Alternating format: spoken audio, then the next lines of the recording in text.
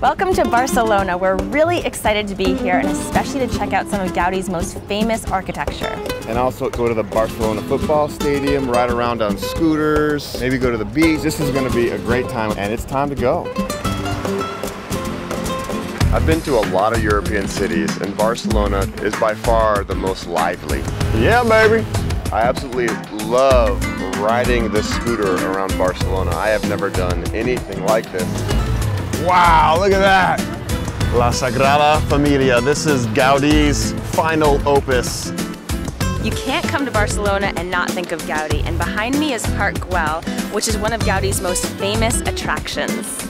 I feel like I'm in this magical world of gingerbread houses, this very cool style. Mmm, I can't wait to eat this.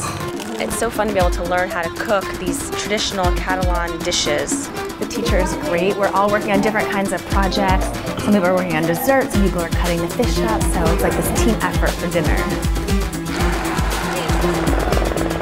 Riding in that helicopter is a rush, and I get to see the entire city from above, and it is absolutely stunning.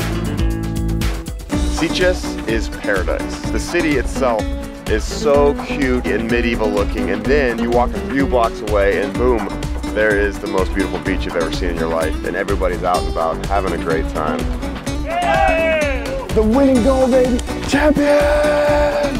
This stadium the most visited tourist attraction in all of Barcelona. It was pretty exciting to see this stadium from a fan's point of view, but being down here on the grass is absolutely incredible.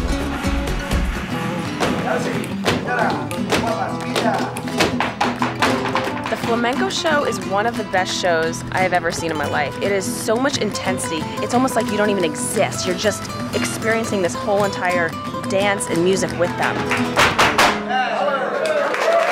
I am absolutely in love with this city. It really has it all. It has the sunshine, it has the beaches. I think my favorite parts have been learning how to cook some traditional Catalan food, also seeing flamenco live.